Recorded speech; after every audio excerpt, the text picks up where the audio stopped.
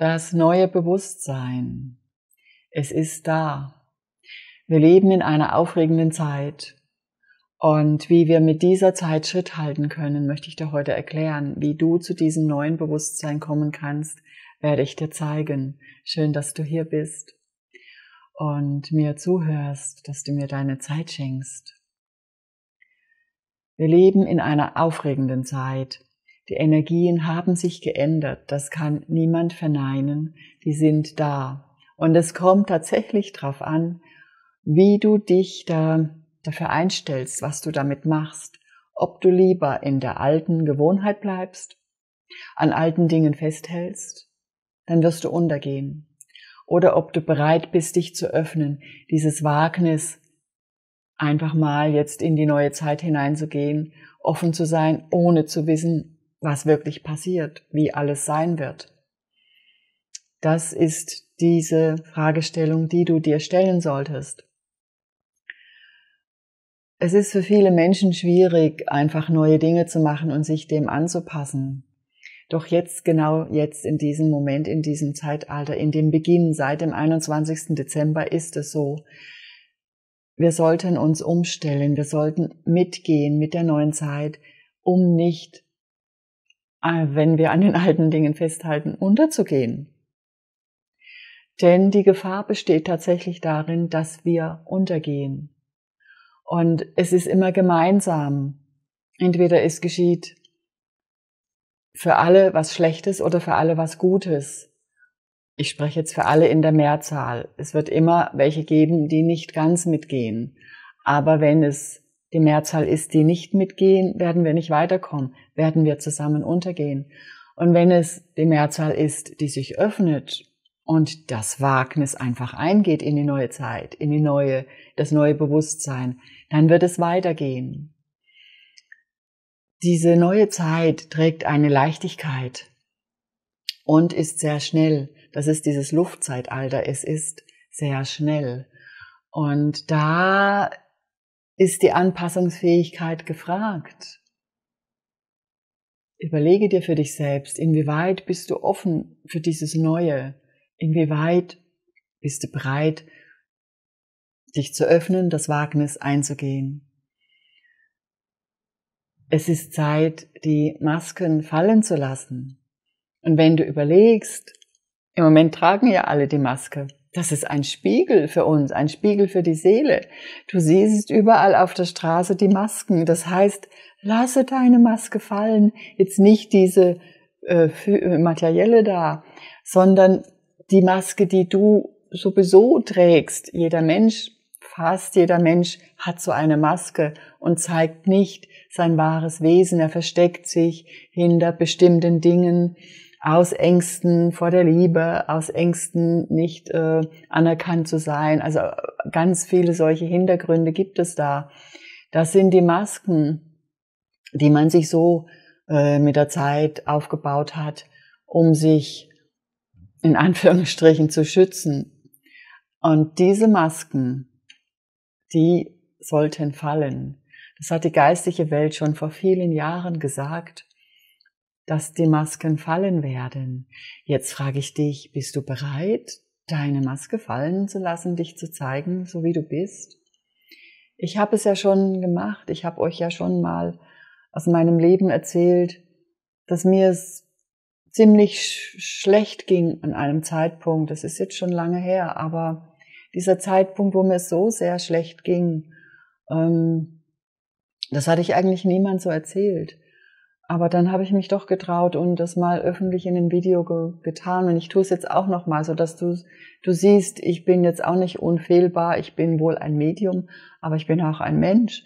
Und äh, zum Beispiel war ich 30 Jahre verheiratet und mein Mann ist in der Zeit zum Alkoholiker geworden. Das war eine total schlimme Zeit, das auszuhalten. Und bis ich in der Zeit erkannt hatte, ähm, dass ich selbst da was tun muss, um aus diesem Käfig rauszukommen. Ich war, ich war in der Leidensphase. Ich habe das also ähm, unbewusst natürlich. Man merkt es in dem Moment nicht. Und ich habe das also alles durchgemacht, bis einmal der Klick kam. Ich war damals auf dem Sozialamt und habe mich beraten lassen, was kann ich denn tun? Mein Mann ist Alkoholiker und die Situation zu Hause ist überhaupt nicht auszuhalten. Ähm, ich will jetzt nicht näher drauf eingehen, aber ihr könnt euch das vorstellen, zumindest die Menschen, die so einen Partner oder Partnerin haben. Und äh, dann ist mir bewusst geworden, mit, bei diesem Gespräch auf dem Sozialamt, dass ich in der Leidensphase bin, dass ich ja passiv bin und alles mit mir machen lasse. Und dann bin ich aufgewacht und habe mein Leben tatsächlich in die Hand genommen. Äh, das war für mich der ausschlaggebende Punkt. Und äh, da ging das dann wieder weiter. Und das ist etwas, was ich eigentlich immer verschwiegen habe und so nicht unbedingt jedem erzählt habe.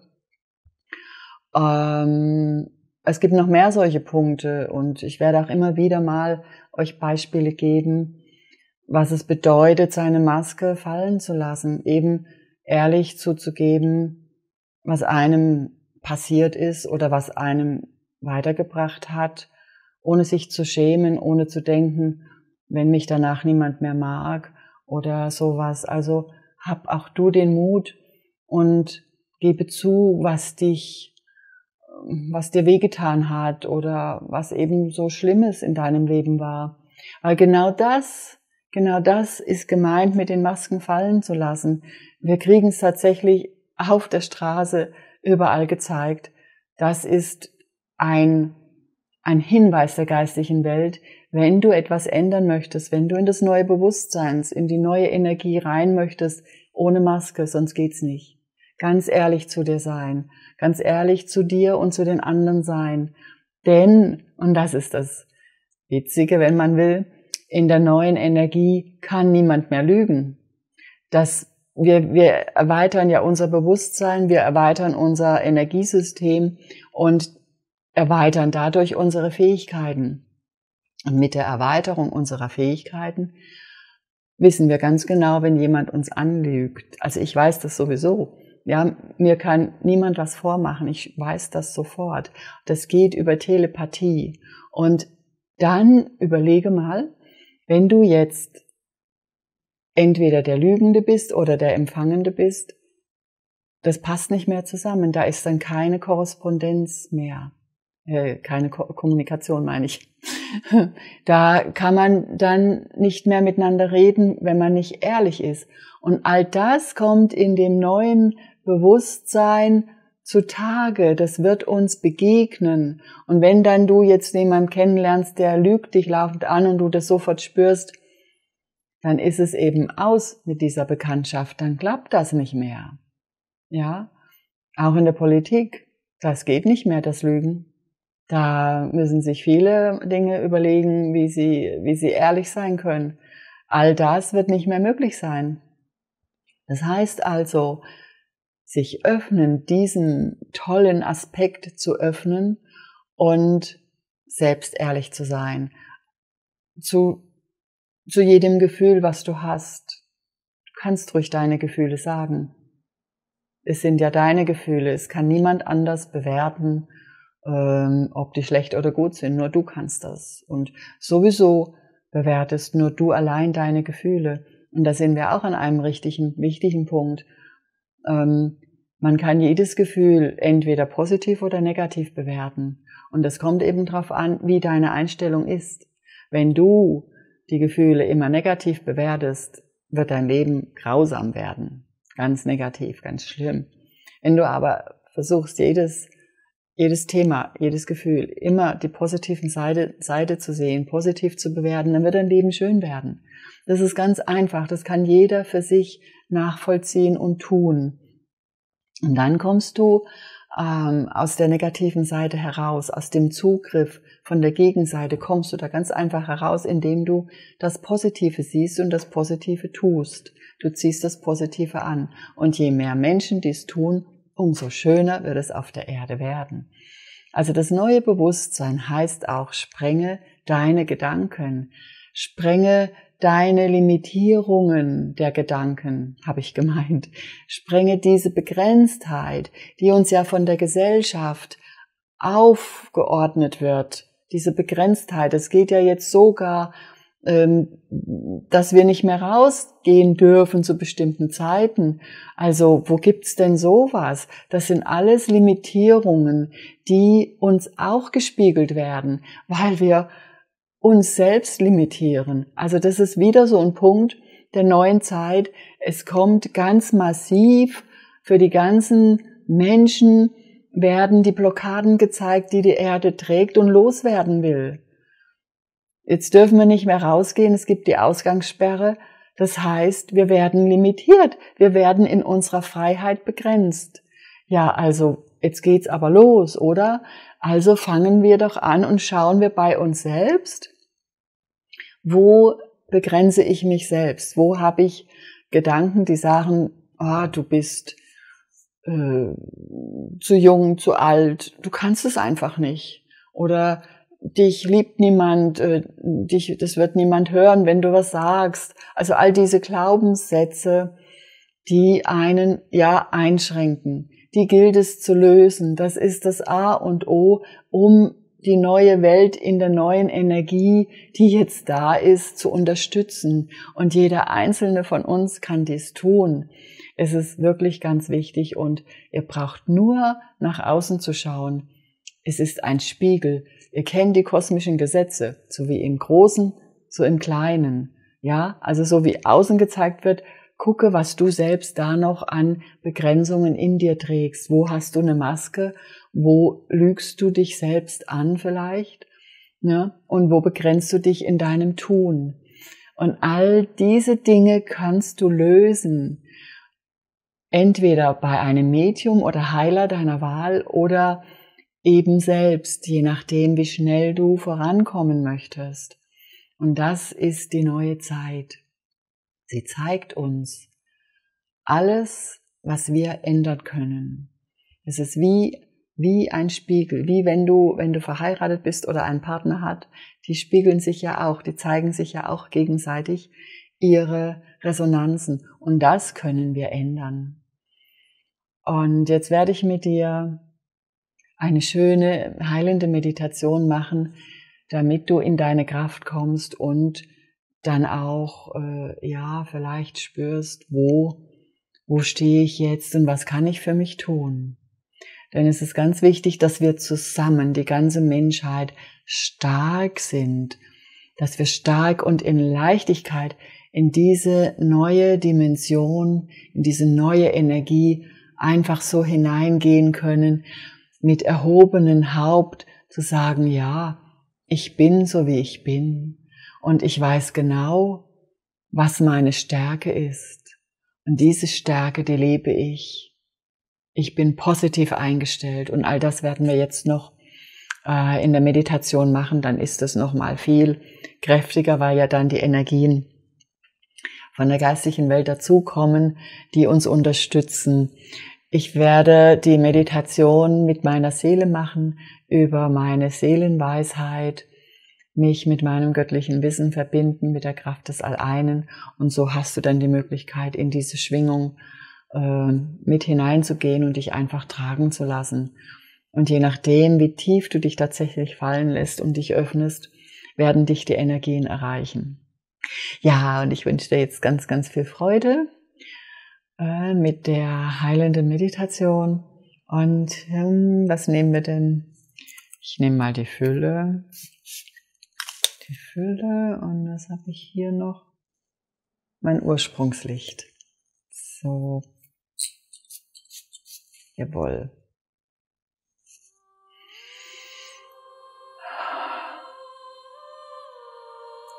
So bereite dich nun auf eine wunderschöne heilende Meditation vor.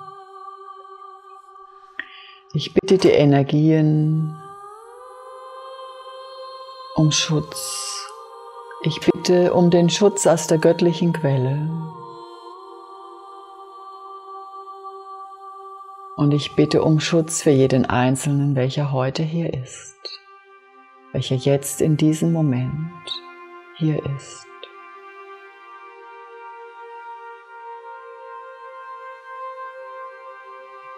So richte ich jetzt meinen Kanal aus öffne meine Seele und verbinde mich mit der Quelle des Alleinen, mit der Schöpferkraft der vollkommenen Liebe.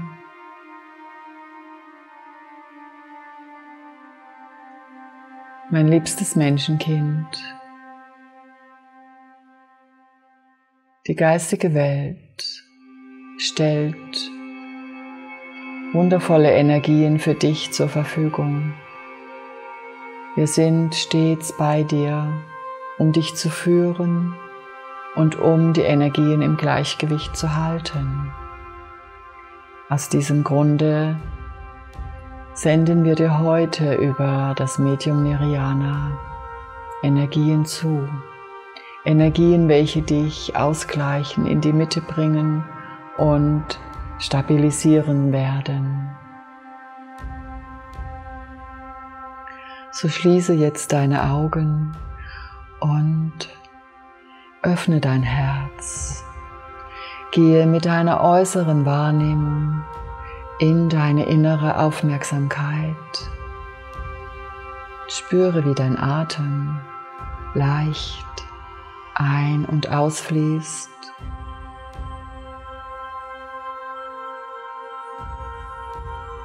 Und spüre die Liebe deiner Seele.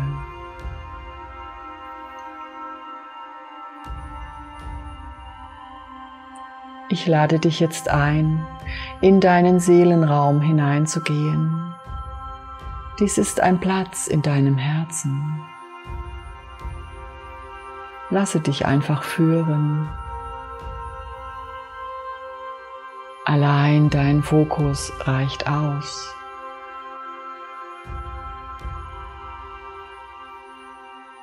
Der Raum deiner Seele leuchtet in den Farben deiner Seele. Diese Farben sind für jeden Menschen anders. Und so spüre, wie du dich hier wohlfühlst. Spüre ganz intensiv deine eigene Liebe, deine Seele.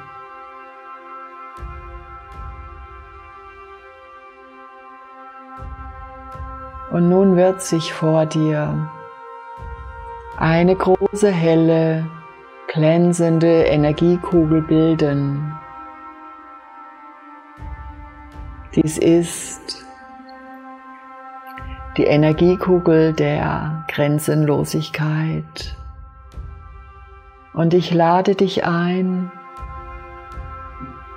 diese Energiekugel in deinen Seelenraum hineinzuziehen so öffne deinen Seelenraum, damit diese Energie zu dir gelangen kann.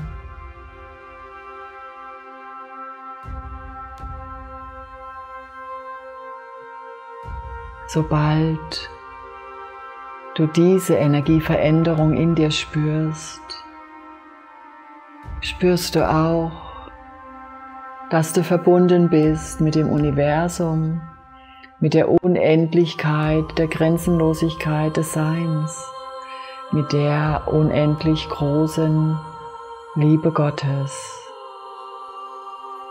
Und in diesem Zustand werden heilende Energien zu dir gebracht,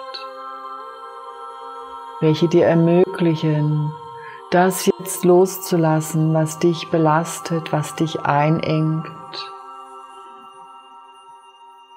welche dir Kraft geben, zu erkennen, dass du so wie du bist gut bist,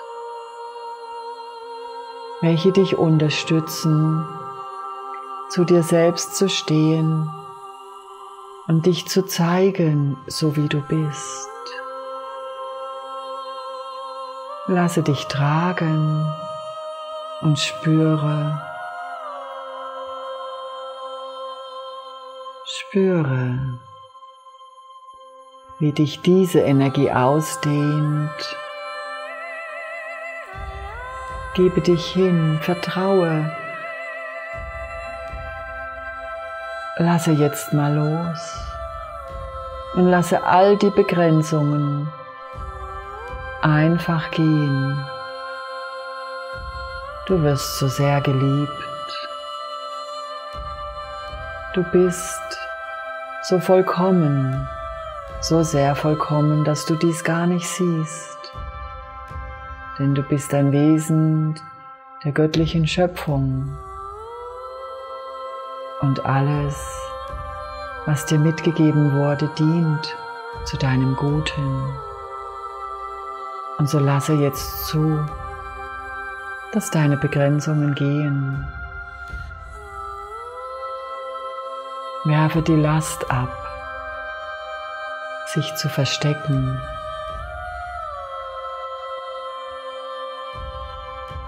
Werfe die Angst ab, sich zu zeigen, zu dir zu stehen. Erkenne, dass du grenzenlos bist, dass dein Leben grenzenlos sein kann, wenn du es nur willst.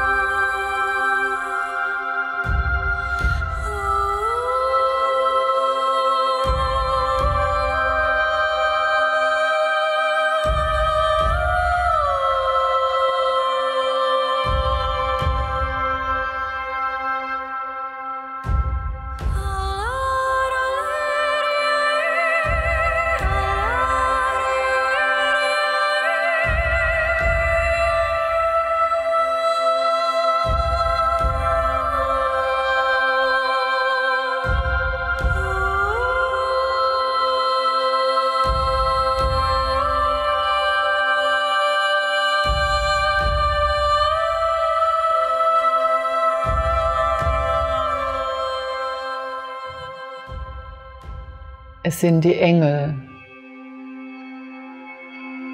welche die Töne, die himmlischen Töne der Liebe singen.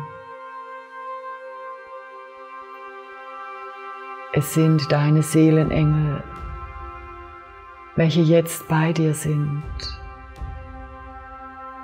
welche dir helfen, all den Ballast abzuwerfen, welcher dich schwächt und welche dir dafür die Liebe und die Kraft übergeben, die Kraft, welche dich stark macht, welche dich strahlen lässt, welche dich verwurzelt mit der Erde, verwurzelt mit deiner Herkunft, welche dich zentriert. Diese Töne schwingen nun in deiner Seele. Und du weißt genau, dass du eng verbunden bist mit Gottes Liebe. Und du weißt genau, dass du selbst der Schöpfer deines Lebens bist. Und so tragen dich die Engel voller Liebe wieder in deinen Herzensraum, in deinen Seelenraum hinein. Sie lächeln dich an und sie sagen, alles ist gut, du bist einer von uns, wir sind bei dir. Dann verabschieden sie sich und gehen zurück in das Universum.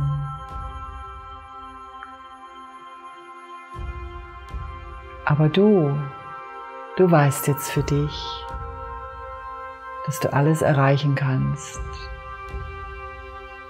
dass du die Kraft hast, dein Leben zu verändern. Und dann komme in deiner Geschwindigkeit wieder langsam in das Hier und Jetzt, in deinem Raum zurück Öffne die Augen, strecke dich, bewege Hände und Füße und sei wieder ganz hier.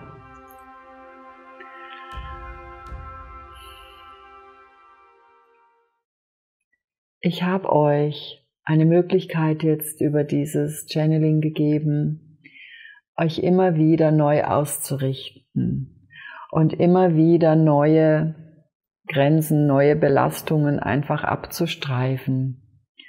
Nutzt diese Energien, sie werden euch heilen und empfehlt es vielleicht auch anderen Menschen, die dafür offen sind. Denn je heiler wir sind, umso heiler ist die ganze Welt. So wie im Kleinen, so wie im Großen. Und dann kann die neue Energie, das neue Bewusstsein sich ausdehnen mit voller Kraft. Ich danke dir, dass du heute hier warst. Du bekommst noch eine Herzensumarmung. Und ich freue mich auf das nächste Video mit dir. Tschüss. Bis bald.